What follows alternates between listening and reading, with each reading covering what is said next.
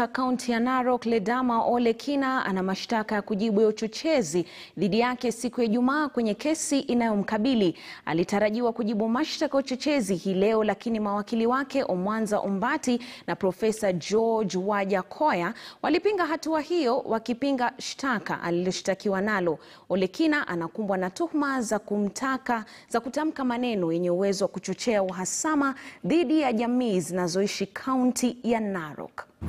Yes. Number two, so it was too circulating, so they can't say that the no, no, not. I don't know whether.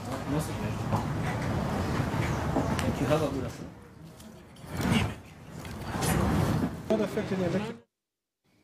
Tukiachana na hayo ni kwamba